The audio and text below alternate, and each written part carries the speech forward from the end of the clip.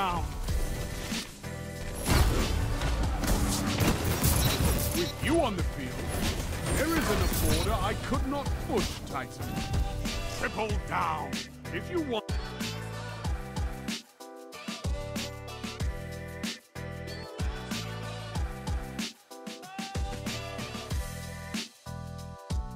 What is going on Guardians and welcome back to another Destiny 2 gameplay video. I hope that you're having a stellar weekend. Hey, in this video we're going to be looking at the Ursa Furiosa exotic gauntlets for the Sentinel Titan in the Forsaken DLC. I actually had these drop after a grueling match I played solo queuing at rank Legend against a full team of Legends and it didn't quite go our way. Although I feel like I earned them after a, um, a solid five kill round where I clutched up and soloed the whole team in Countdown, but that's neither here nor there. That footage is recorded and it may find its way onto the channel at some point, but let's talk for now about these Ursas. They are absolutely insane. I had, I had a perfect game on my second game with them with a 28.0 efficiency, and then the next match in a completely different lobby, I had a 57 kill game. These things are crazy good if and only if people are silly enough to shoot you. in uh, in comp, they're nearly worthless because people know better and they can communicate. But uh, in quick play, these things are phenomenal.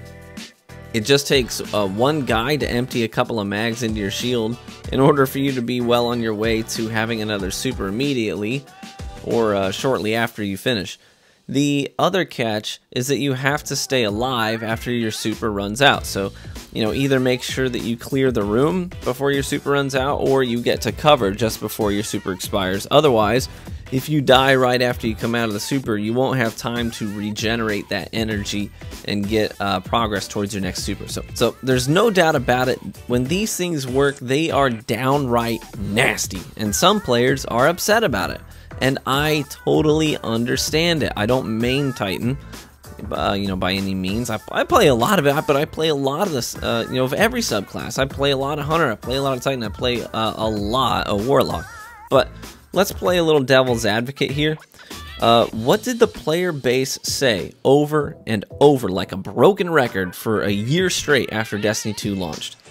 You know, we said our Guardians felt too weak.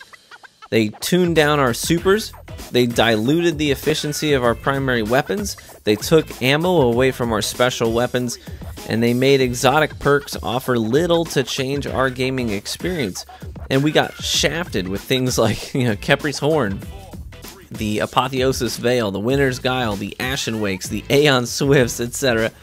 I mean, Sturm and Drang was an exotic and legendary counterpart duo that at launch did nothing but reload each other. I mean, that was it. You know, we've had enough of lackluster, mediocre things to chase and use in this game. Before Forsaken launched, we were speaking up, and we said things on YouTube, on the forums, on Twitter, and on Reddit about how we were ready for Bungie to break some stuff. We were ready for them to take some risks. We wanted to actually feel powerful again. And Furiosas aren't entirely different from some year one Destiny 1 builds that existed. You know, you could do this on a, a gunslinger uh, with the right combination of perks and weapons. Uh, you could you could basically um, you get your super back in less than a minute with a well placed Nova bomb followed by just a couple of bad juju kills.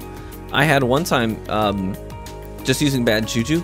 I got my super back in 30 seconds, where I, I used um, Radiance and which uh, Sunsinger. I used the Sunsinger super. I chucked nades at people and I slapped them around. My super finished. I got some kills with bad juju. 30 seconds later, I had my super ready to go.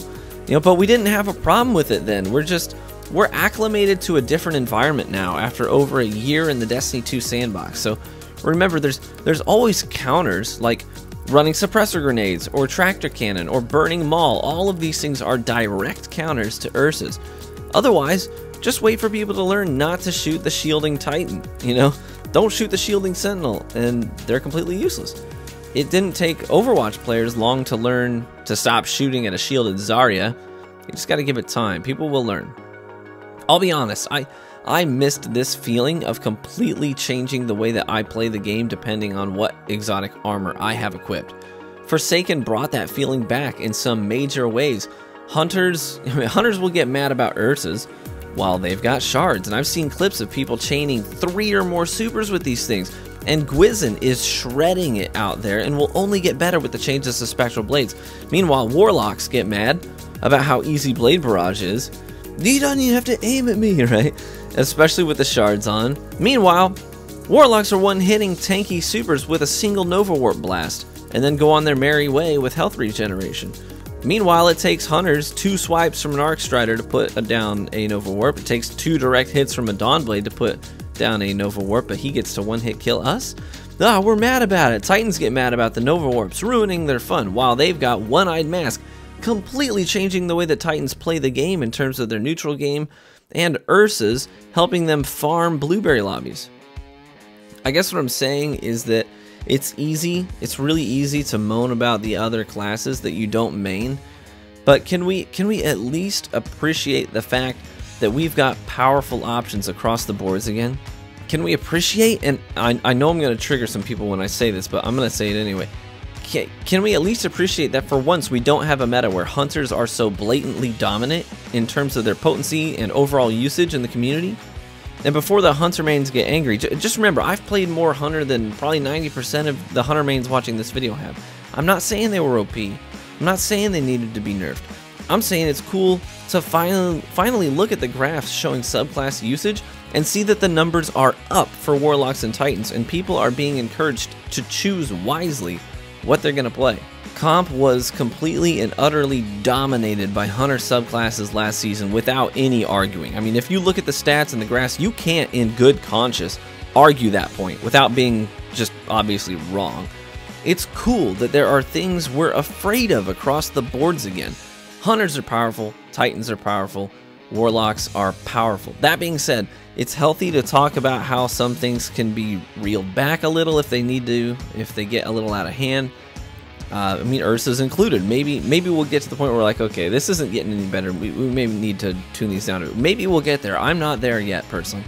It's good to talk about uh, making other things more powerful to help them have a place. Balancing the sandbox is a necessary part of every player against player gaming experience. That only happens when we're vocal about how we feel. So please continue to be vocal.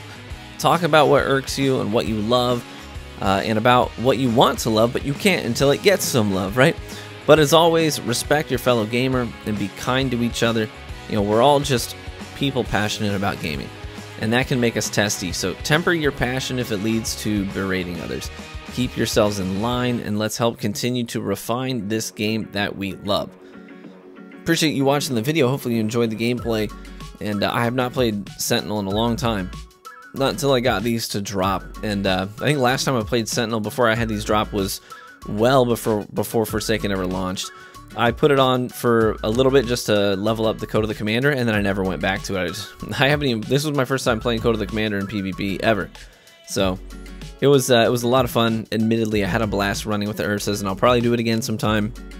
I had a really good week. I got the Ursas to drop. I had One-Eyed Mask drop. I had Heart of Inmost Light drop, which is kind of sucky. Um, I had Chromatic Fire drop. I had Controverse Holds drop. I mean, my RNG this week was was just it was bonkers. And um, you know, I, I have played so much of this game since Forsaken dropped, and I had not had any exotic armor drop until now. Like this week, it was just like I was getting really frustrated with it, and it was just like, okay, open up the floodgates and give him just about everything. So I still only have Oath Keepers on my Hunter, so I need to get Gwisin, and uh, I need to get the shards on my Hunter. And uh, I, th I, think I need the Phoenix Protocol and the Geomag Stabilizers on my Warlock, and then the Antaeus Wards, and I'll have everything. So those are the things that I'm currently hunting. What are you currently hunting? What do you have? What are you using? What are you loving? You know, and what do you have? What are you using? Also, what do you want? What's the what's the one thing that's evading you? You're just like, god, gotta get my hands on it. Gotta have it. Um, I've had a pretty good week, so I got most of the things that I really wanted. But Gwisin is like really high on my list right now. I really want to get Gwisin because I I love Spectral Blades. I've played so much Spectral Blades since Forsaken came out, and I want to play more of it. And I want to really experiment with the Gwisins and see what I can do with those, especially with the new changes to the subclass. So thank you so much again for watching the video, for being a part of our community. I hope to catch you in the Crucible.